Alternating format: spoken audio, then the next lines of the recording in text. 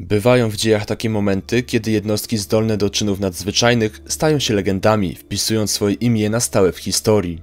Jednym z takich ludzi bez wątpienia był generał Lee. Człowiek ostrożny, wyrachowany w swych decyzjach, dalekowzroczny jak przystało na doświadczonego dowódcę. Lee nie pozwalał sobie na lekkomyślność. Każdy jego krok był przemyślany, każdy rozkaz wyważony, gdyż nie dążył do zwycięstwa za wszelką cenę. Dzięki temu zyskał szacunek swoich podkomendnych. W czasach zesłania do Górniczej Doliny jego ludzie nie byli zwykłymi siepaczami. Lee dość ostrożnie dobierał nowych najemników. Wiedział, że ich życie jest cenne, a wierność nie przychodzi łatwo. Jednak nawet najbardziej ostrożni z nas mogą paść ofiarą ciemności, która niepostrzeżenie wkrada się w serce. Choć generał Lee przez lata był świetnym dowódcą, zarówno służąc królowi, jak i współpracując z magami wody, to z czasem zaczął stopniowo popadać w ciemność aż blask jego gwiazdy niemal całkowicie zgasł. O wczesnych latach życia generała wiemy niewiele. Niemal nic, co pozwoliłoby nam jednoznacznie określić, jaką drogą kroczył, zanim stał się jednym z najwybitniejszych generałów królestwa. Nie wiemy, czy zasłużył na swój stopień dzięki chwalebnym czynom na polu boju, czy też piastował wysokie stanowisko w wojsku z racji urodzenia. Nie można bowiem wykluczyć, że Lee był człowiekiem szlachetnie urodzonym. Jeśli faktycznie pochodził z arystokratycznej rodziny, to jego droga w wojsku mogła wyglądać nieco inaczej. Szlachectwo bowiem mogło mu zapewnić odpowiednie wykształcenie, dodatkowo nie musiał ryzykować swego życia jako zwykły piechur, co pozwoliło mu wykorzystać swoje talenty na polu boju. Niezależnie od tego, jak Lee osiągnął swoją pozycję, jedno jest pewne – Potrafił ją utrzymać, prowadząc swoich ludzi do zwycięstwa. Dzięki temu zdobył sobie nie tylko ich szacunek, ale również miejsce w historii królestwa. Jednak zanim do tego doszło, to musiał się sprawdzić na polu bitwy. Robar II postanowił zrealizować swój cel podbić i kontrolować jak najwięcej ziem.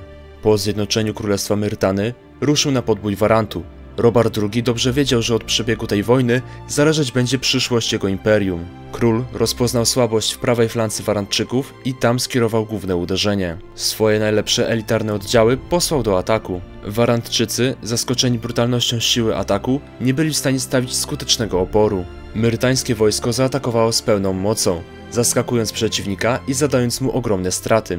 Generał Gelon wraz z całą swoją armią poległ na polu chwały. Jednak król nie dał swoim wojskom ani chwili wytchnienia. Wiedział, że teraz nadszedł czas na decydujące starcie z generałem Lukorem. Wyczerpane, ale nadal pełne determinacji oddziały ruszyły naprzeciwko drugiego generała Warantu. Jednak Lukor nie zamierzał czekać biernie na wroga. Wykorzystując moment, gdy siły Robara były rozproszone i zmęczone po wcześniejszych bojach, uderzył niespodziewanie. Uderzenie było potężne, a wojska myrtańskie, zmęczone ciągłymi walkami, poniosły ogromne straty. Robar II, mimo swoich błyskotliwych planów, stanął w obliczu klęski. To właśnie generał Lee miał zmienić przebieg wojny. Doskonale wiedział, że zwycięstwo nie zawsze przychodzi dzięki brutalnej sile, a kontynuowanie strategii Robara doprowadzi do przegranej wojny. Wojska myrtańskie były wyczerpane oraz gorzej wyposażone niż ich przeciwnicy. Lee wiedział, że prawdziwą przewagę daje zdolność przewidywania ruchów przeciwnika i wykorzystywania jego słabości. Generał Lukor, dumny ze swojej kawalerii, był pewien, że zdoła zmiażdżyć wojska Lee. Jednak myrtański generał, przewidując ten scenariusz, miał inny plan.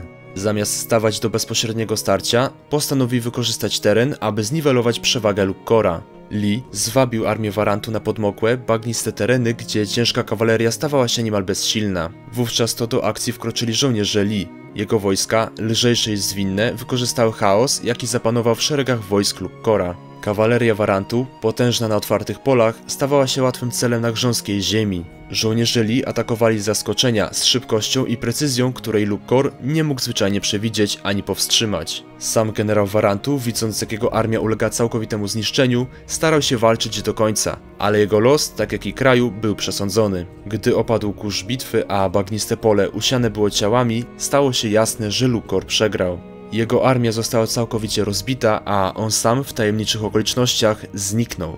Dalsza historia Lukkora jest nieznana. Zwycięstwo Lee było niepodważalne, a ten sukces przesądził o losie całej krainy. Warant został wchłonięty przez Królestwo Myrtany, a król Robert II triumfował.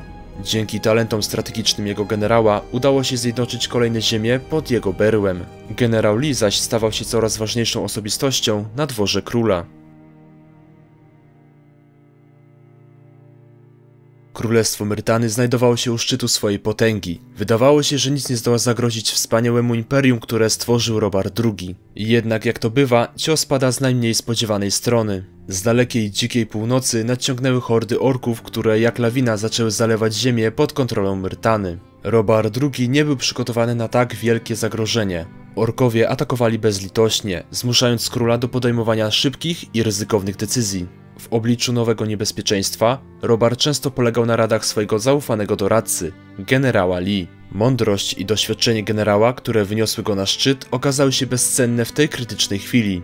Robert II wysoko cenił sobie sugestie generała, często stawiając jego rady ponad opinie innych, co nie umknęło uwadze szlachty. Wpływ Lee na decyzje monarchy budzi coraz większy niepokój wśród arystokracji, która widziała w nim zagrożenie dla swojej pozycji. Nie byli w stanie zaakceptować faktu, że jeden członek z kręgu wojska zyskał tak ogromny wpływ na króla. W swoich knowaniach przekroczyli wszystkie granice przyzwoitości. W akcie pozbycia się Lee zamordowali ukochaną żonę Robara, wbijając tym samym nóż w samo serce władcy. Winą za ten potworny czyn obarczyli generała Lee, wiedząc, że Robar oszalały z bólu będzie szukał zemsty na mordercy. Szlachta liczyła, że w ten sposób raz na zawsze pozbędzie się człowieka, którego wpływy stały się nie do zniesienia. Doskonale zdawali sobie sprawę z tego, jak niebezpiecznym człowiekiem może być Lee, to też mieli nadzieję, że generał zostanie stracony.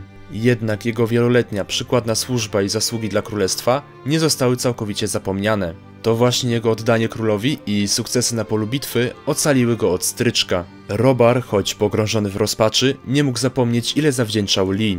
Generał został zesłany do kolonii karnej, gdzie miał spędzić resztę swoich dni, wydobywając magiczną rudę pośród innych skazańców. Jednak Lee, choć upokorzony przez dworskie intrygi, nie zamierzał poddawać się bez walki. Zamiast zaakceptować taki stan rzeczy, przysiągł, że zemści się na tych, którzy go wrobili. W głębi kolonii karnej, w otoczeniu przestępców, Lee snuł plan zemsty. Z górniczej doliny coraz częściej uciekali kolejni skazańcy. Z rozkazu króla do doliny przybyli potężni magowie. Ich misja była prosta: zabezpieczyć wydobycie magicznej rudy. Magowie mieli stworzyć magiczną barierę. Początkowo plan wydawał się niezbyt skomplikowany. Bariera miała obejmować tylko teren wydobycia magicznej rudy oraz zamku, uniemożliwiając tym samym ucieczkę więźniom. Jednak w momencie, gdy magowie rzucali zaklęcie, coś poszło nie tak. Siły magiczne wymknęły się spod kontroli, a bariera rozszerzyła się na znacznie większy obszar, obejmując całą dolinę. Magowie, którzy mieli nadzorować operację, znaleźli się we własnej pułapce. W zaistniałym chaosie powstał nowy porządek. Gomez, jeden z więźniów wraz z zaufaną grupą popleczników, wykorzystał okazję. W brutalnym przewrocie jego ludzie zamordowali królewskich strażników, przejmując tym samym kontrolę nad starym obozem. Władza Gomeza stała się niekwestionowana, a jego rządy opierały się na strachu i sile. Jednak nie wszyscy więźniowie godzili się na taki stan rzeczy, w szczególności były generał Lee. Po utworzeniu magicznej bariery i przejęciu władzy przez Gomeza, Lee odszedł ze starego obozu wraz z grupką magów wody, którzy nie chcieli służyć nowemu reżimowi. Był to początek nowego rozdziału w jego życiu. Założył nowy obóz w sojuszu z wyznawcami Adanosa oraz innymi więźniami. Lee, widząc szansę ucieczki z wydawałoby się więzienia bez wyjścia, zapewni magom ochronę, w zamian oczekując od nich pomocy w zniszczeniu magicznej bariery. Dla mieszkańców nowego obozu największą wartością była wolność. Pragnęli za wszelką cenę wydostać się spod magicznego parasola. W nowym obozie Lee zajął się tym, w czym był mistrzem, organizacją i dowodzeniem wojskiem. Jego świta była wybierana starannie, tylko najbardziej utalentowani wojownicy mogli liczyć na służbę u jego boku. Generał dbał o to, by jego ludzie nie tylko byli doskonałymi żołnierzami, ale także zaufanymi towarzyszami broni, którzy nie zawiodą w kluczowych momentach. Zyskał szacunek wśród najemników, podobnie jak kiedyś w Armii Królewskiej. Nie wszyscy jednak byli zadowoleni z rządów Lee. Wśród mieszkańców nowego obozu znajdowali się anarchiści, którzy odrzucili autorytarne rządy Gomeza, by żyć w wolności i bez żadnych ograniczeń. Dla nich generał ze swoją żelazną dyscypliną był kolejnym tyranem, który próbował ich kontrolować. Lee podczas współrządzenia nowym obozem nie mógł zapomnieć o jednym o krzywdzie, której doświadczył.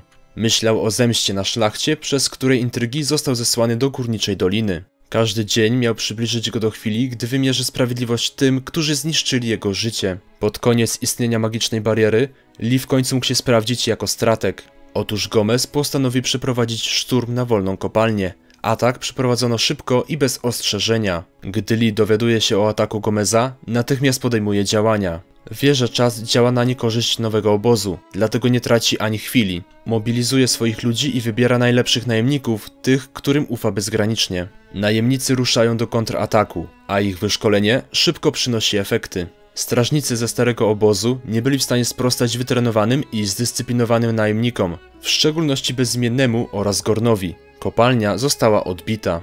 Mimo kolejnego zwycięstwa, Lee coraz bardziej zaczynał popadać w ciemność. Niegdyś honorowy generał, wzorowy rycerz stawał się powoli więźniem własnych pragnień. Niczym powiernik jedynego pierścienia, który z czasem poddaje się jego niszczycielskiej mocy, taki Lee zaczyna zatracać się w mroku. Zemsta, która początkowo wymierzona była w zdradziecką szlachtę, stopniowo przybiera nowy, bardziej niebezpieczny wymiar. Zamiast mścić się na szlachetkach, postanawia zabić samego króla. Pragnienie zemsty przerodziło się w obsesję. Dla mieszkańców kolonii upadek magicznej bariery był jak grom z jasnego nieba. Przez 10 długich lat bariera była ich więzieniem. Mało kto wierzył, że może od tak przestać istnieć. A jednak w jednej chwili to, co wydawało się niezniszczalne, od tak zniknęło. W obliczu tego przełomowego wydarzenia Lee i członkowie nowego obozu nie czekali. Wykorzystali niespodziewaną okazję i wyruszyli do Korinis, by znaleźć drogę ucieczki z wyspy.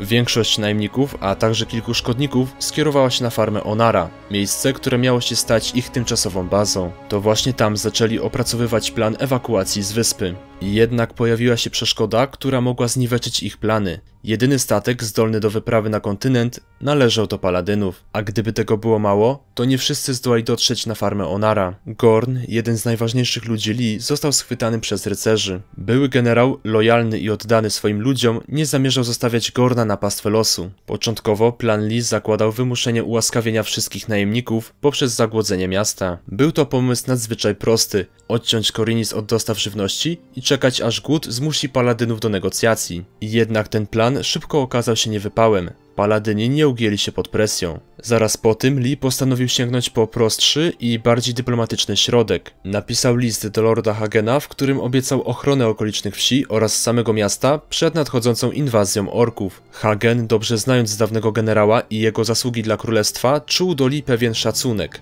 Postanowił więc ułaskawić tylko jego, a reszta najemników dla Hagena był to jedynie motłoch, banda przestępców. Lee, lojalny wobec swoich ludzi, nie mógł tego zaakceptować. Zawsze dbał o swoich towarzyszy i nie wyobrażał sobie, by teraz ich zdradzić. Ale w tej chwili do gry weszło coś więcej niż lojalność. Zemsta. Pierwszym celem jego vendetty miał być miejscowy sędzia, który w przeszłości odegrał kluczową rolę w jego skazaniu. Lee, mimo że był świadomy nadchodzącego ataku orków na Korinis oraz farmę Onara, coraz bardziej zatracał się w pragnieniu wyrównania rachunków. Gniew na króla tylko narastał, a Lee nie był już tym człowiekiem, który walczył jedynie o wolność swoich ludzi. W tym momencie na scenę wkracza bezimienny, oferując byłemu generałowi możliwość opuszczenia wyspy. Popłyniesz ze mną? Żartujesz? Jasne, że tak. Mam parę rachunków do wyrównania na kontynencie. Gotów by porzucić swoich ludzi, byleby tylko dokonać zemsty na królu. Mimo, że orkowie byli coraz bliżej inwazji, Lee nie potrafił już myśleć o niczym innym poza swoją osobistą vendetą. Była to chwila, w której były generał ostatecznie zatracił się w ciemności. Tak oto pomału gasł blask jego szlachetnej gwiazdy. Po opuszczeniu wyspy Korinis i pokonaniu smoka ożywieńca, załoga udała się w stronę kontynentu. Jednak sytuacja w Myrtanie była dla nich wielką niewiadomą.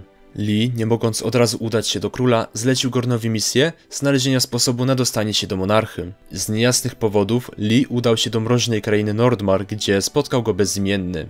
Generał starał się namówić swojego kompana na zgładzenie Robara. Stwierdził, że lud Myrtany i tak jest skazany na porażkę.